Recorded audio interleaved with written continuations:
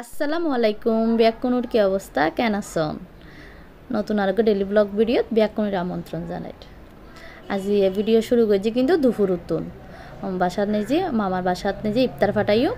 তো ইফতার রেডি করছ, তো যার হানালয় রান্নাঘর তো ভিডিও শুরু করা আই কিন্তু এটা গরম পানি দিই ডাল সিদ্ধ বয় দিই হালিমুর ডাল। তো হালিমুর ডাল এনে ফুটিব, কি বেশ কিছুক্ষণ। তো এনে আমি পাটি সাপটার লাই কিছু হাই মাকে রাখি তো ই নো এখন আপাতত রেস্ট রাখব তো এনে আর একটা নতুন রেসিপি অনালে আগে শেয়ার ন করি আজ ফার্স্ট শেয়ার করি।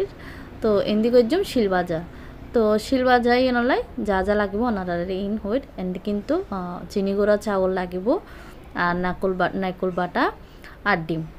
এন কিন্তু খুব মজার নাস্তা। আশা করি ওনারাতে ভিডিও দেখিলি ভালো লাগিব।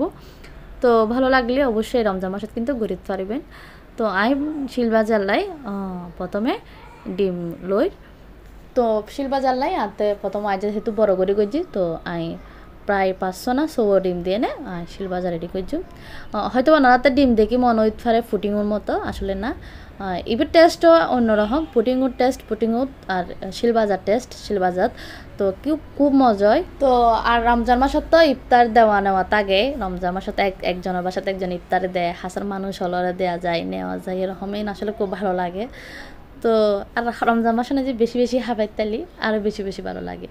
তো আই এরে ডিম দিয়ে নফর এরে প্রায় উঁচু উঁচু করে চা চামচ যে তিন চামচের মতো চিনি গুঁড়া চাউল দিই। এর নাস্তাও করতে কিন্তু চিনি গুঁড়ো চাউলই লাগিব, অন্য কোনো চাউল দিলেই তো নয়। তো চিনি গুঁড়ো চাউল আই ধুই ভালো করে ব্লান্ডার করানোর পর মানে গুড়ি করানোর পর আই এখন তিন চামচের মতো দিই। তো এখন দিয়ে তরল দুধ। আর এটা যদি কন্ডেন্স মিল্ক দন আরও বেশি টেস্ট হব।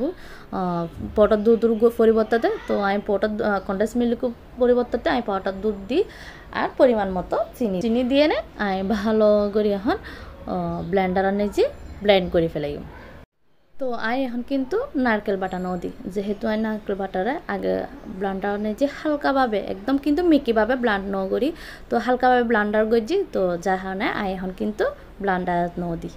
মানে এবার যখন খাইব, তখন মুখনে যে কুচি কুচি যদি নেকুল মানে লাগে না, তো টেস্ট এবার ভালো আই। তো এখন ব্লান্ডার করানোর পর এখন দিম একদম ব্যাকম আবার মিক্স করি, এখন দিম নাকুল বাটা। প্রায় এটা এক কাপ মানে এক বাটিতুন কিছু অংশ হম আছে নাইকুল, তো নাইকুল দিই নাইকুলি আসলে এবার টেস্ট আর চাউলের গুড়ি টেস্ট দিবে মানে অন্যরকম করে।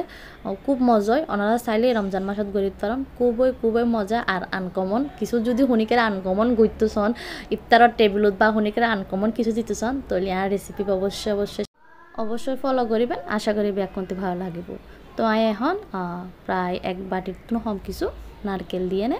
বেশ কিছুক্ষণ কিন্তু নাড়াচাড়া করছি।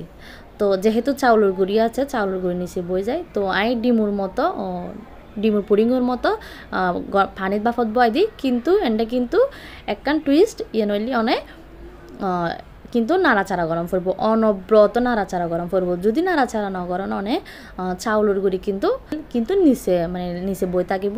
তো দেখতে লাগবে না এটা নাড়াচাড়া করি, যতক্ষণ যতক্ষণ পর্যন্ত গনয় নয়, ততক্ষণ পর্যন্ত নাড়াচাড়া গরম করিব। তো দেখতে লাগুন, বেশ কিছুক্ষণ পর কিন্তু একদম গনয় এসি। এ সমানে জি, আর নাড়াচাড়া কোনো দরকার নেই।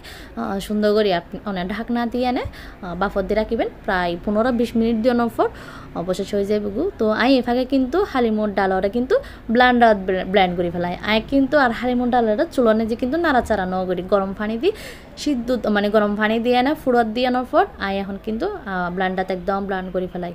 তো ই বললি তিনটার দিকে করি, আম্মু হালিম রান্না করার আই এতে কি করানোর পর আসলে খুব মানে হয়রান লাগে যেহেতু রোজা ছিলাম তো ইফতার রেডি করছি, আম্মু আই মোটামুটি নাস্তা আইটেম ইন, যা যা গরম পরে নাই করছি, আর কিনা আম্মু করছি।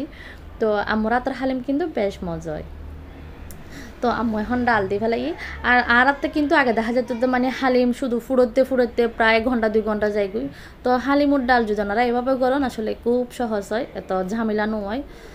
তো যেহেতু রমজানে যে হালিম বেশি হা যায় তো হালিমুত কিছু শেষ। আম্মু ধনে পাতা দিয়ে পরবর্তীতে নামাই ফেলাই, আর ভিডিও তো নয় করি।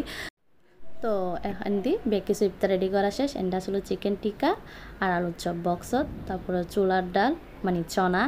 তারপর আসিল শিলবজা মানে শিলবাজার আর হাড়াহুড়ি নগরী পরবর্তীতে তারা করিব।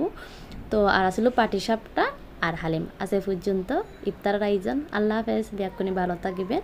আসসালামু আলাইকুম।